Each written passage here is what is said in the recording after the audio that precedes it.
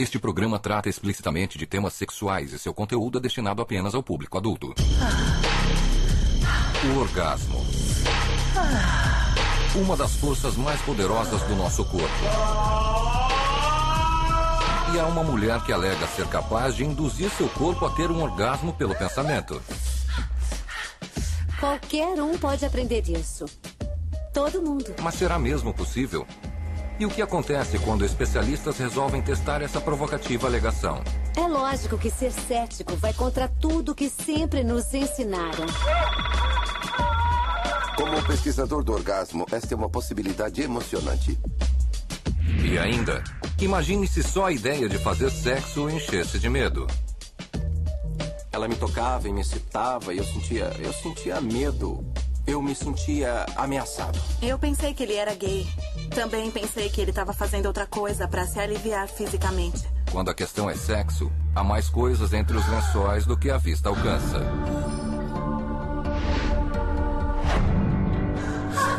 Sexo estranho.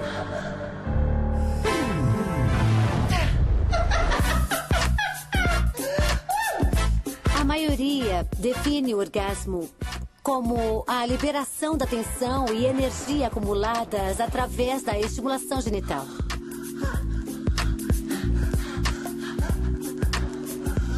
Acho que é bem maior do que isso. Orgasmo. O ápice do ciclo da relação sexual, caracterizado por uma intensa sensação de prazer. Alguns chamam de orgasmo pensado.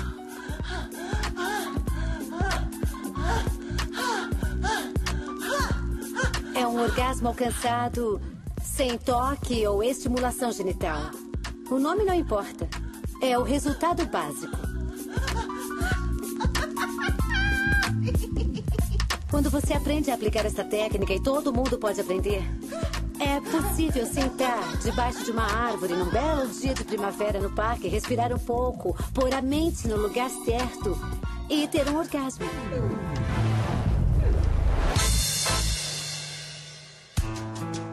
Eu nasci em Rhode Island, numa família católica muito conservadora.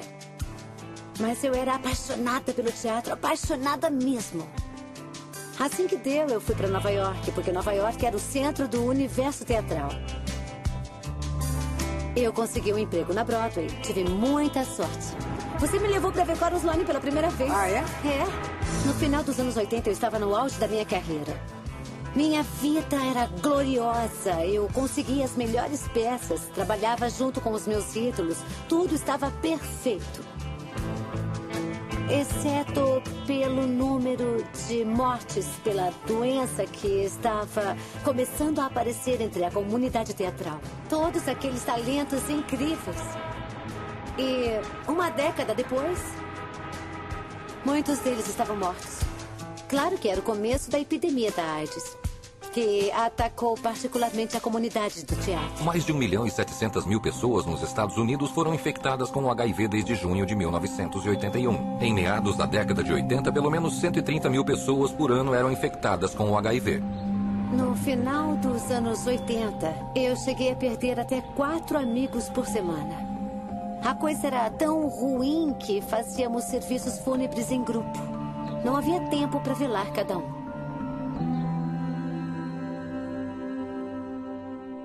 Arrasada com a crise da AIDS, Bárbara começou a buscar novas maneiras de praticar sexo seguro.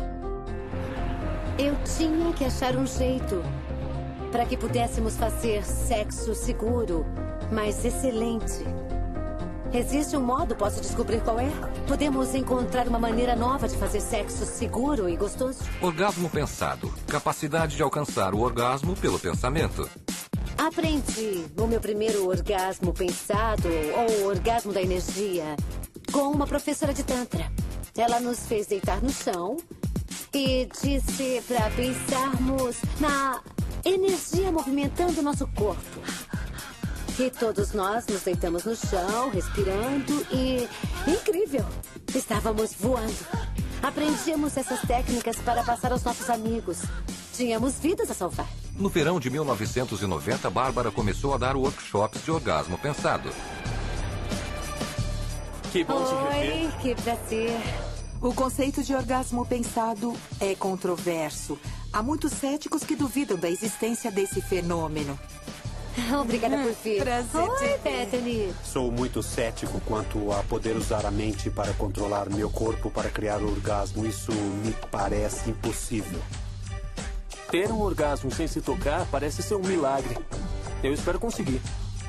É lógico ficar cético. É contra tudo que sempre aprendemos. Não tem um sentido lógico. Mas qualquer um pode aprender isso. Todo mundo. Relaxem. Sintam que estão se fundindo ao chão. Respirem suavemente, mais fundo. Inspirem e expirem pela boca. Há vários modos de orgasmo pensado.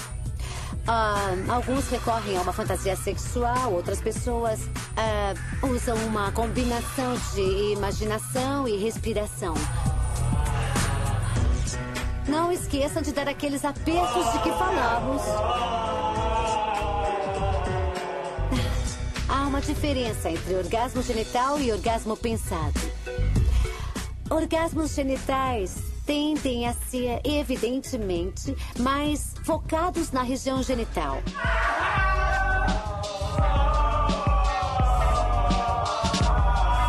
Concentre-se no que está acontecendo com você.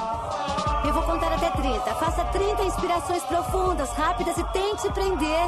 Num orgasmo pensado, o orgasmo tende a acontecer no corpo inteiro. A próxima inspiração é para prender. Inspira, inspira, inspira. Você pode fazer isso para se dar uma folga no meio de um dia agitado. Se eu não estiver dirigindo o carro, eu faria imaginando pegar alguém do time de futebol, com certeza. E comprimam a barriga, o bumbum, prendam a respiração. Avancem mais um passo. Vocês podem avançar mais um passo? Soltem!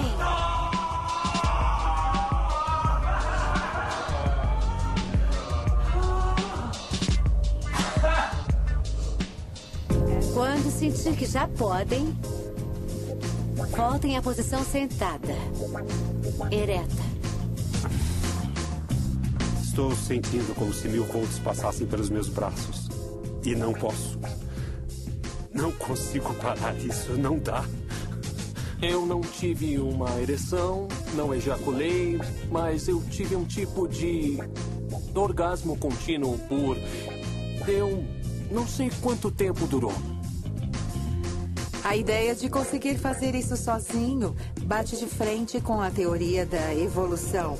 Levanta uma série de perguntas de qual será o papel da sexualidade em nossas vidas. A capacidade dela chamou a atenção dos cientistas da Universidade Rutgers. Eles estão ansiosos para testar essa técnica. O orgasmo pensado é um orgasmo real? Bom, para mim com certeza é. E também é para as pessoas a quem ensino. Mas felizmente, a ciência está começando a prestar atenção nele também. Bárbara, tudo bem? Tudo. O que não sabíamos era como a Broadway iria estar cheia de fantasmas no espaço de uma década. Após perder muitos amigos para a AIDS, Bárbara decidiu encontrar uma nova forma para o sexo seguro. Alguns o chamam de orgasmo pensado. Outras pessoas chamam de orgasmo da energia. É um orgasmo alcançado sem toque ou estimulação genital. Os cientistas da Universidade Rutgers estão ansiosos para testar a capacidade de Bárbara. Não achamos que as pessoas possam pensar um orgasmo normalmente. Mas aparentemente estamos descobrindo que certas mulheres conseguem e os homens também. Estou curiosa para saber o que se passa no meu cérebro quando faço isso. E tô louca para ter essa informação para passar aos meus alunos e meus colegas. Muito bem, Bárbara. Isto aqui é para segurar a sua cabeça para que ela fique bem firme na máquina, tá certo? Nós temos estudado a atividade cerebral das mulheres que podem ter orgasmo sem estímulo físico. Me diga se estiver muito quente. Puxe para trás, puxe para trás.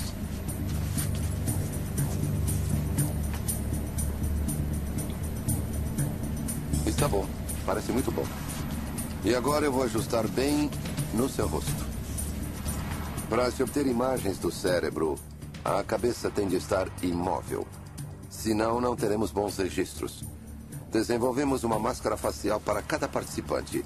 Uma máscara facial sob medida. Está endurecendo. Aham. Está endurecendo. Só mais uns 30 segundos, tá? Ótimo. Esta é a frente. Agora vou mudar a parte de trás Ah, e juntar. Mas se estiver incomodando, me avise que aí eu posso retocar. Nós vamos observar as diferenças e as semelhanças entre o orgasmo induzido pelo pensamento e o orgasmo induzido pelo estímulo físico para ver quanta sobreposição existe. Muito bem, nós terminamos as imagens anatômicas e agora vamos pedir que você tenha um orgasmo pensado.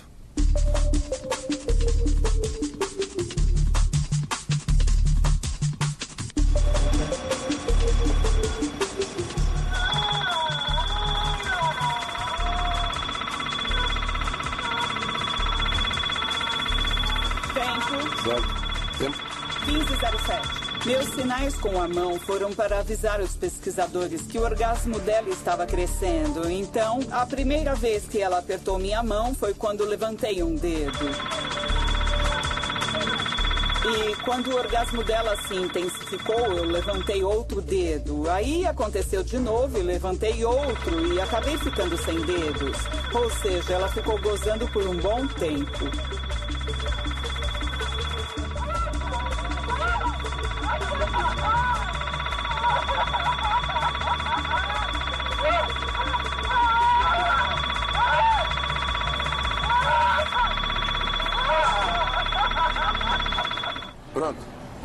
Foi muito bom. Você está bem? Tudo bem aí?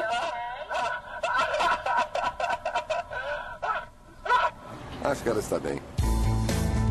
desde que comecei eu me pergunto, ele acontece no cérebro? Por que é diferente? O que tem de igual? E agora eu vou saber. Oi? Oi, como é que Já vai? se recuperou? Está bem? Ai, ainda estou sentindo. Tá bom. Esta é uma pessoa que alegava poder ter orgasmos apenas pelo pensamento. Esta é a parte superior do seu cérebro. E ela consegue mesmo. Realmente é o equivalente em termos de reação fisiológica e reação cerebral aos orgasmos por estímulo genital. O que vimos é que esta área aqui é que ela fica ativa durante o orgasmo. Como pesquisador do orgasmo, esta é uma possibilidade emocionante. Agora que estou aprendendo como o orgasmo pensado pode ser especialmente útil e benéfico para ah, pessoas que passaram por algum tipo de eh, cirurgia genital, que sofreram a clitorectomia, para pessoas que tiveram seus genitais modificados ao nascer para se adaptarem às normas sociais, para aquelas que acham que jamais serão capazes de ter um orgasmo. A vida delas pode mudar ao perceberem que sim, elas podem. Muito obrigado por Obrigada. participar. Foi É, muito foi bom. muito bom. Eu quase precisava implorar por intimidade. Eu pensava, todo homem gosta de sexo, não é?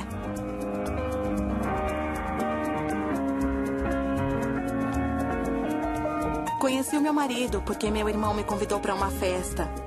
Uma festa da faculdade dele. Então eu entrei e, por algum motivo, o Corey chamou a minha atenção.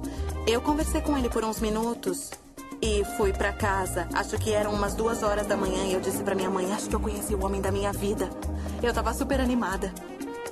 O dia do casamento foi demais. Provavelmente um dos meus dias mais memoráveis. Na lua de mel fazíamos sexo várias vezes por dia e isso foi. foi bom demais. Corey e Carrie planejavam ter uma vida perfeita juntos. Mas logo depois da lua de mel, algo mudou. Nas primeiras semanas do nosso casamento, comecei a notar que as coisas não pareciam certas. Eu quase tinha que implorar para ter alguma intimidade. Eu ficava sexualmente excitado com ereção. Ela me tocava e me excitava, mas eu me afastava e eu me privava disso e ela também. Eu pensava, todo homem gosta de sexo, não é? Eu achava que isso era estranho, não entendia. Isso não fazia sentido pra mim. Eu não entendia como um homem não queria ter intimidade.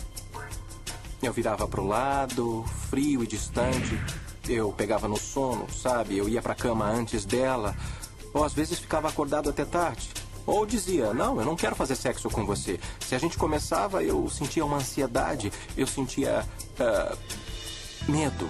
Eu me sentia ameaçado. O norte-americano entre 18 e 29 anos faz sexo cerca de 112 vezes por ano. Nós tínhamos intimidade várias vezes por dia na lua de mel e depois talvez duas ou três vezes por semana, a uma vez por mês, uma vez a cada quatro, seis semanas. Quando tínhamos intimidade, era assim: luzes apagadas, olhos fechados. Sexo por obrigação, eu diria. Tornou-se sexo por obrigação. Eu pensei que ele era gay. Também pensei que ele estava fazendo alguma coisa para se aliviar fisicamente. Arrasada com a rejeição do marido e cada vez mais desconfiada, Carrie começou a vigiar cada passo dele. Ele tinha muito tempo livre e eu não sabia o que andava fazendo. Olhava as contas do celular dele para ver para quem ele ligava, onde tinha estado. Carrie não encontrou indícios de um caso amoroso, mas logo se tornou claro que Corey tinha várias válvulas de escape. Eu me masturbava muito no chuveiro. Eu me excitei milhares ou milhões de vezes é, com a TV, com revistas, com coisas que realmente a maioria das pessoas não consideraria pornográficas. Mulheres jovens, mulheres velhas, de todo formato e tamanho, eu conseguia idealizar qualquer parte do corpo que eu quisesse. À medida que o sexo se torna menos frequente, o casamento de Corey e Carrie começa a sair do controle. Tínhamos combinado que precisávamos ou procurar ajuda juntos ou que, um, pelo plano B, eu teria que assumir o controle. Quando fomos confrontados com essas opções, Corey e eu decidimos procurar ajuda. Nós conhecemos o Dr. Wise no centro de orientação Falando com o Coração e começamos pela etapa intensiva de três dias. Primeiro, Corey passou pelo teste do polígrafo para determinar suas tendências e comportamentos sexuais. Com base nos resultados, recebeu um diagnóstico chocante. Definitivamente eu sentia atração sexual pela Carrie, mas Bastava a gente se aproximar emocional e fisicamente para eu ir logo cortando o barato. Corey e eu decidimos procurar ajuda e tínhamos ouvido falar no centro de orientação falando com o coração e fizemos um intensivo de três dias ali. Ao chegar em Colorado Springs, Corey passa pelo polígrafo. Após o teste, Corey recebe um diagnóstico inesperado. Quando conheci o termo anorexia sexual, eu pensei, nossa, que interessante, eu nunca tinha ouvido falar nisso, ninguém nunca me disse nada disso. E ao me passarem cada um dos sintomas, eu dizia, nossa, é o meu marido. Anorexia sexual. Estado obsessivo no qual a tarefa física, mental e emocional de evitar o sexo domina a vida da pessoa. A anorexia sexual é diferente de não, de não gostar mais do cônjuge, de perder a paixão. No sentido de que a pessoa continuará igual, mesmo casando depois com outras pessoas. Foi o maior alívio para nós, ou pelo menos para mim, saber que, pronto, Descobrimos o problema, é isso que está errado e você não está sozinho. Como parte do tratamento, começou a ter sessões regulares de terapia. Corey, é frequente os anoréxicos terem mágoas dos pais. Quer dizer, você tinha alguma mágoa do seu pai ou da sua mãe, ou de ambos? Como era isso? A anorexia sexual nunca é culpa do outro, o que torna um anoréxico 100% responsável por sua própria recuperação. Eu tive ótimos pais, mas meus pais se divorciaram. Eu sentia às vezes que minha mãe nos usava contra meu pai. Eu tinha a crença de que as mulheres ferem os homens, não que não que eu tivesse consciência disso. Era mais uma crença subconsciente na minha cabeça. Eu acho que eu adquiri isso ao passar muito tempo com a minha mãe e eu me tornei uma espécie de marido substituto. E era quase como se, se tivéssemos uma relação de namoro. Uhum. De certa forma, era uma coisa bem estranha. Quando você é criança e essa intimidade com sua mãe é tão grande e você não está equipado para atuar nesse campo, isso pode transparecer no casamento. A anorexia sexual ocorre por três ou quatro bons motivos. Um, que o progenitor do sexo oposto seja muito invasivo ou muito distante e o paciente não se liga ao outro sexo. Portanto, a intimidade real é muito difícil para ele. Muito bom. O que eu estou percebendo agora é como é que eu era mesmo obcecado por segurança, sabe? Uhum. Eu pensava, não dá para confiar nela. As mulheres não me dão segurança. Muito parecido com a relação com a minha mãe. Uhum. Todas elas são mulheres e mulheres não dão segurança. O anoréxico costuma controlar o nível de intimidade. Ele tem que manter o controle. Não quer correr riscos, não quer se magoar. Ele tem medo. É mais por medo do que do que por controle. O controle é um meio para assegurar que o medo não apareça. Por isso ele faz o que faz. Para melhorar o casamento, o casal tem de redigir um contrato regulando a nova vida sexual. Acho que a gente pode combinar com que frequência nós queremos ter ter intimidade. Uhum. Duas ou três vezes por semana nós podemos ter intimidade. Quando eu ouvi falar do acordo sexual, eu pensei, nossa, isso vai tirar toda a espontaneidade da intimidade. E sei lá, o domingo pode ser como um dia livre, ou o dia que ambos podemos desencanar, tá? Pra mim tá bom. É, é um ciclo de três dias, ou podemos fazer num, num rodízio de dois dias, como a gente preferir. E Pode podemos fazer desse jeito. Não estávamos fazendo nada, então só podia ser melhor do que a gente já tinha. E isso transformou o nosso casamento. E também, se eu não iniciar, ou se eu sabotar, digamos que você comece e eu. eh, arranje briga com você, sabotando a coisa, eu também teria que sofrer as consequências disso. Ainda há espontaneidade, mas isso garante que realmente haverá intimidade. Além de estipular metas claras na cama, o casal deve reservar várias horas por semana para namorar e ficar juntos. Nós tentamos sair à noite pelo menos duas vezes por mês. Acho que sempre fazemos isso, criando intimidade emocional. E podemos chegar à intimidade sexual também.